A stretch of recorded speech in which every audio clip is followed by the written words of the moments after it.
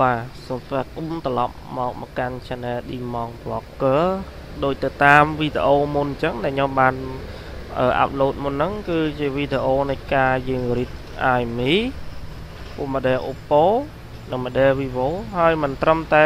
read បានត្រឹមតែ model Oppo model Vivo ឯគឺ model ដទៃទៀតដែលប្រើ eMMC tool កើតដែលមាន ISP ហើយមួយក៏មាន pin ស្វានភាសាចូលអញ្ចឹងណាបាទចឹង ឥឡូវនេះខ្ញុំនឹងធ្វើវីដេអូបង្ហាញអំពីរបៀបនៃការយើង restore IME ចូលទៅវិញបាទដោយដោយថាមុនគឺជាវីដេអូ backup ឥឡូវខ្ញុំនឹងធ្វើវីដេអូ restore IME ទៅវិញចឹងតែអ្នកដែលអត់ទាន់បានមើលវីដេអូមុនចឹងសូមទៅមើលវីដេអូមុនសិនទៅហើយចាំត្រឡប់មកមើលវីដេអូនេះវិញព្រោះខ្លាចគាត់អត់យល់ចឹងណាព្រោះវីដេអូនេះខ្ញុំបង្ហាញមួយមួយអត់មានអីទៅលាក់បាំងទេខ្ញុំបង្ហាញមួយមួយចឹងអ្នកគ្រាន់អ្នកទាំងអស់គ្នាគ្រាន់តែមាន box សម្រាប់ដែល read EMMC ហ្នឹងទៅបានហើយបាទអញ្ចឹងឥឡូវខ្ញុំអត់មានត្រូវការ demo ទៅការ download អីទៀតទេ គឺចំពោះវីដេអូមកខ្ញុំបាន download read ឲ្យមើលចាឥឡូវអត់ទេគឺខ្ញុំគ្រាន់តែប្រាប់ demo ដែលយើងត្រូវតែយើងធ្វើដើម្បីយើង restore IME ចូលទៅក្នុង phone board ហ្នឹងវិញទៅលើម៉ាស៊ីនហ្នឹងវិញអញ្ចឹងទី1យើង read ហើយហើយអញ្ចឹងដល់ពេលយើង read ហើយគឺយើងត្រូវតែដាក់ dot board ហ្នឹងចូលទៅរៀង refresh ពេលពេលដែល refresh refresh នៅលើ board ហ្នឹងគឺអឺ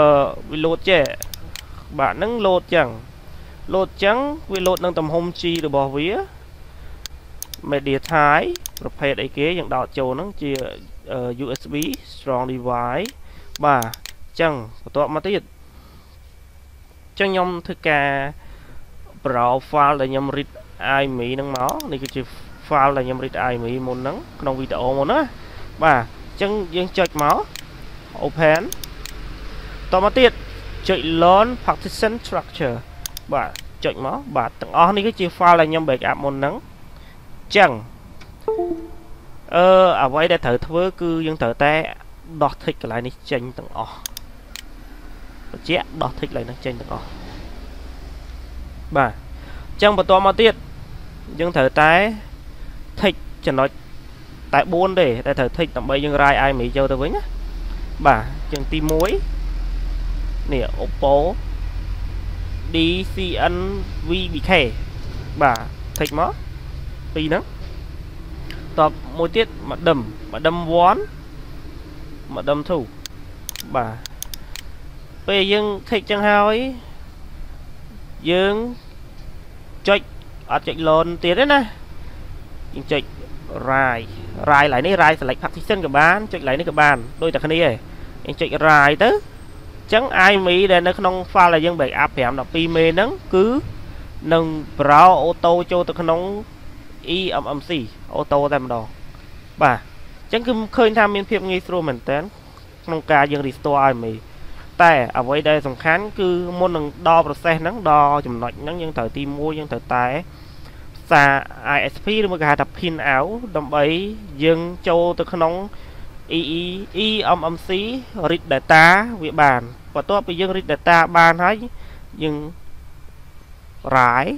ពេលដែលយើងដំណើរការនៃការធ្វើណាយើងរាយចូលអញ្ចឹងយើងឆែកមើលថាអូវាបាត់ IME យើងអាច browse file មកយើង browse file មកហើយចុច load partition structure ទៅដូចខ្ញុំធ្វើមុនហ្នឹងអញ្ចឹងតបមកយើង select file 4ហ្នឹងមក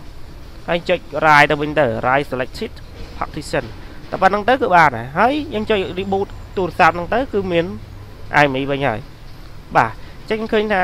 វីដេអូនេះគឺត្រូវបានបញ្ចប់ហើយហើយអត់មានអីច្រើនទេតែគាត់ថាខ្ញុំចង់បញ្យល់ឲ្យបោះក្បាយឲ្យច្បាស់ពីចំណុចមួយមួយអញ្ចឹងសង្ឃឹមតាអ្នកទាំងអស់គ្នាដែលបានមើលវីដេអូខ្ញុំមួយនឹងហើយសង្ឃឹមតាអ្នកទាំងអស់គ្នាចូលចិត្តហើយជួយគ្រប់គ្រងវីដេអូខ្ញុំបន្តបន្តទៅទៀតហើយកុំភ្លេចចុច share ម្នាក់មួយផងណាបាទបើមានចម្ងល់អាច comment នៅខាងក្រោមនឹងបានខ្ញុំនឹងឆ្លើយពេលដែលខ្ញុំ stand by ខ្ញុំឃើញភ្លាមខ្ញុំឆ្លើយភ្លាមតែម្ដងបាទហើយបើអ្នកថ្មីថ្មីដែលមើលវីដេអូនេះហើយបើថាចូលចិត្តអាចជួយ subscribe channel ខ្ញុំម្នាក់មួយម្នាក់មួយផងបាទអញ្ចឹងសូមអរគុណសូមជម្រាបលា